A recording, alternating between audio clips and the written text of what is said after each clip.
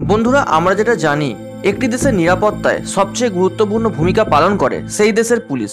কিন্তু পয়সার সবসময় দুটি দিক থাকে। এই জন্য কিছু কিছু পুলিশ নিজের স্বার্থের জন্য নিজের পোশাকের অপমান করতে একটুও পিছুপা হয় না। আজকের এই ভিডিওতে পুলিশ কর্মীদের এমন কিছু ভাইরাল ভিডিও ফুটেজ দেখতে চলেছেন, যেগুলি আপনাকে অবাক করতে বাধ্য করবে। তো চলুন বন্ধুরা, ভিডিওটি শুরু করা যাক।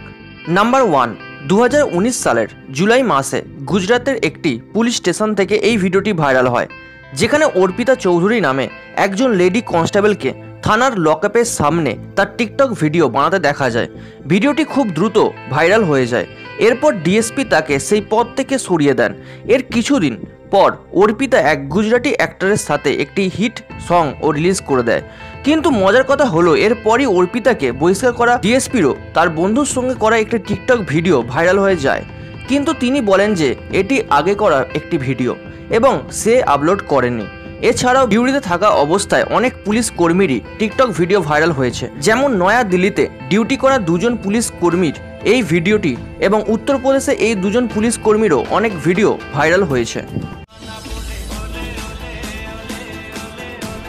নাম্বার টু দু হাজার ষোলো সালের জুলাই মাসে উত্তরপ্রদেশের কানপুরে একজন ডিউটিরত পুলিশ কর্মী রামকৃষ্ণ সিংয়ের মদ্যপ অবস্থার এই ভিডিওটি আপনাকে অবাক করতে বাধ্য করবে।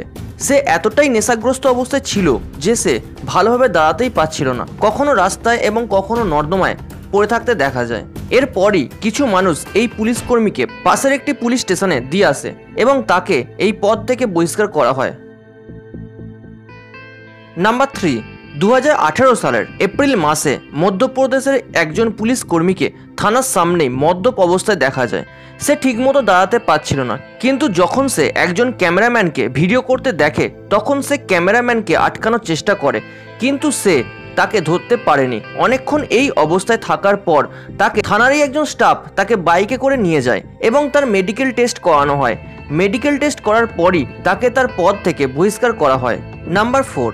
দু হাজার উনিশ সালের নভেম্বর মাসে তেলেঙ্গানার একটি থানায় হাসান নামের একজন এএসআই, একজন মহিলা হোমগার্ডকে হাত দিয়ে মেসেজ করাচ্ছিল।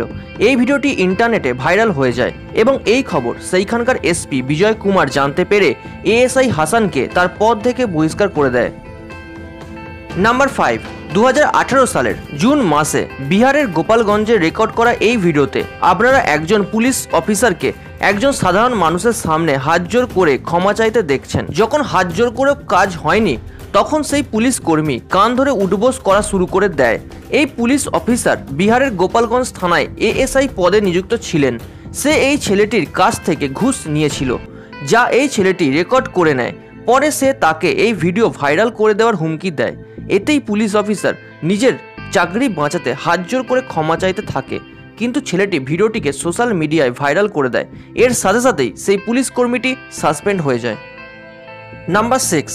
বন্ধুরা, এতগুলি নেগেটিভ ভিডিওর ভিড়ে একটি পজিটিভ ভিডিও দেখে নেওয়া যাক। একজন ট্রাফিক কনস্টেবল পুনের রাস্তায় মোটরসাইকেলের কাঁচ ও ফাইবার পরিষ্কার করছিল, যাতে এইগুলো থেকে কোনো ক্ষতি না হয়। ভিডিওটি একজন মানুষ রেকর্ড করে নেয় এবং খুব দ্রুতই এই ভিডিওটি সোশ্যাল মিডিয়ায় ভাইরাল হয়ে যায়।